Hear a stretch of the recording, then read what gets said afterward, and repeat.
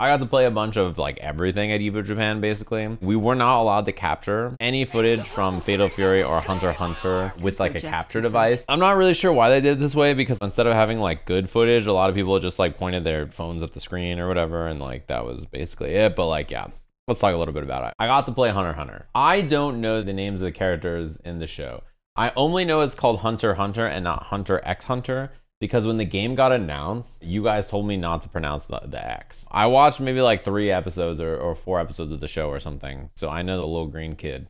His name is Gon, right? A couple of things to note about this game. The way I would describe it at like a very baseline level is it just feels like playing Marvel 3 with one button special moves. It has Marvel 3 Wave Dash, it has like a Plink Dash in the game, Plink Dash with Throw OS built into it. The biggest thing is that the characters are a little floaty in the air. It feels a lot like Marvel 3. Suitman, he has a thing where like these projectiles come out of the ground and then fall on you.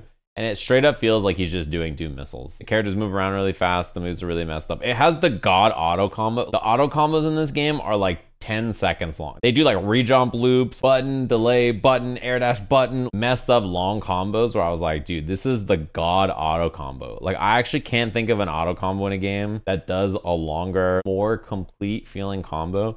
I'm sure that there are better combos that you can do than what the auto combo is.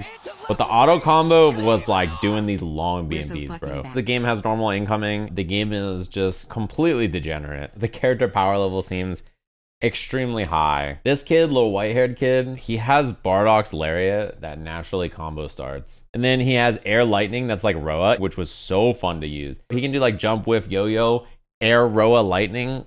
That is pretty funny. I was playing the dev, right? And I like beat him a couple of games. I was like, I think I'm starting to figure this game out. I'm up three characters to one, and I'm like, all right, cool. I'm like starting to get some BMBs. I'm starting to get things out. And then he was old man, like Roshi, but not Roshi in this game. He activated overdrive or whatever it is and then he killed all of my characters in one hit each. He just went boom hit one character dead boom hit one character dead boom hit one character dead and then he laughed and then i was like oh. So that's how i learned the game has x factor. You're faster you do more damage. Just like x factor you can like cancel your block stun with it. The game also has Baroque, which is a, a, mechanic from TVC where you can cancel like a section of your recoverable life and then get like a damage boost and like instant cancel basically. Two buttons together does super and then like a direction plus two buttons together does like the level threes or whatever. And you can DHC just like Marvel. So you can do like a combo and then do some stuff and then finish it and then do like super and then DHC, DHC. Like you can do that again. I played the little white haired kid, Killua. I played Suitman with the glasses and I played Clown Man uh, who was the best character in the build, it felt like by a lot. He had air dash projectile and he could just combo dash in and combo off it naturally. He could also do it from retreating, so just like air dash back, throw a projectile. Extremely fast, he could throw a diagonal. His assist was three of the projectiles with huge hit stun. And then he has like the gum mechanic where he can like pull himself in and out. Everything he did felt extremely powerful. Uh, the glasses man felt like he was like support. The game was really fun. It felt good to move around in. I had a lot of fun mashing and just doing stuff. I have like legit no idea what this game is going to turn into. But I think the bones of it are obviously like a very beloved IP and a very beloved like engine, right? Like it's it's literally just Marvel 3. If that sounds like something you'll enjoy, you probably will like it. If that doesn't sound like something you'll enjoy, then like you probably know exactly what it feels like already. It's not the prettiest game. I think like every single game, I think 2XKO looks great and it looks better in person. I think Fatal Fury looks great and it looks better in person. This game I don't think looks that great. Uh, but it looks better in person. But yeah, the game's fun. Okay, next.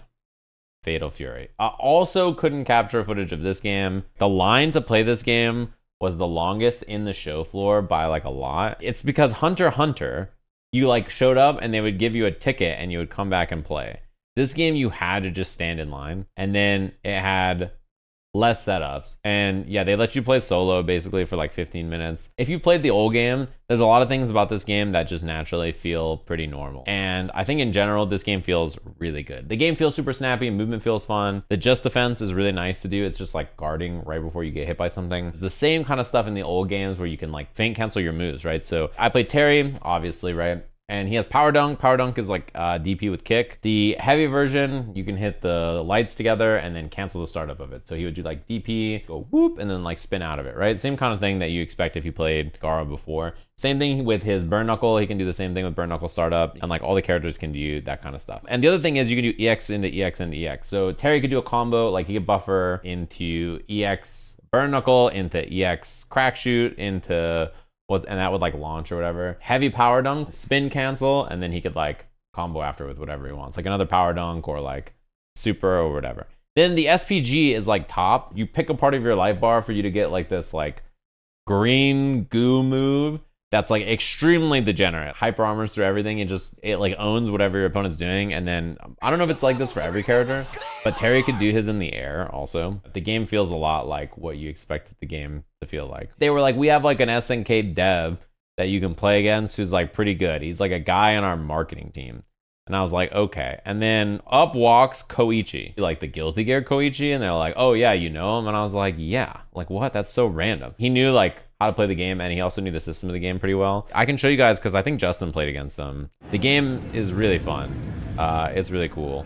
So they both put their SPG in the front. So the green move you can just do and it like blows through whatever your opponent's doing. And it's like really, yeah. I mean, you just do this move and then you just pull up on someone and then he just gets the combo after.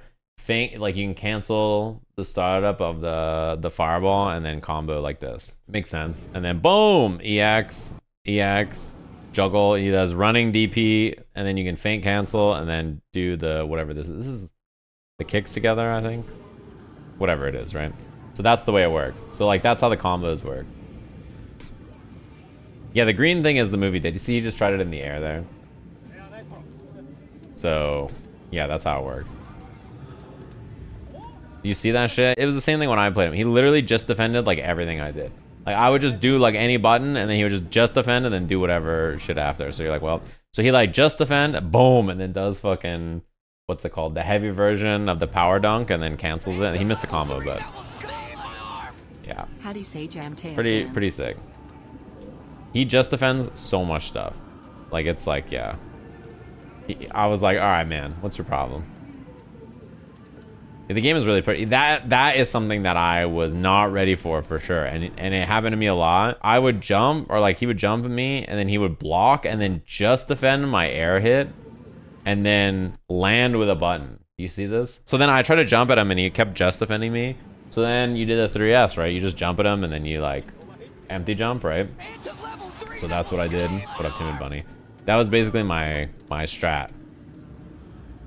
But yeah, like that was, this was like the, the main way the game was played. It was a lot of this kind of stuff.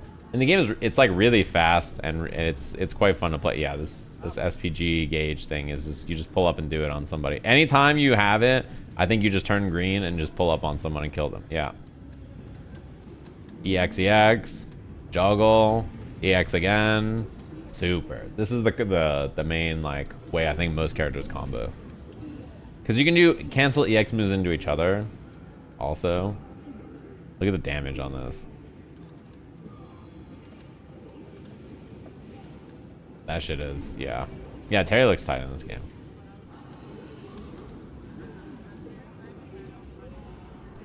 Like, there wasn't a thing that I was like, ooh. Yeah, see what I mean about the just defend?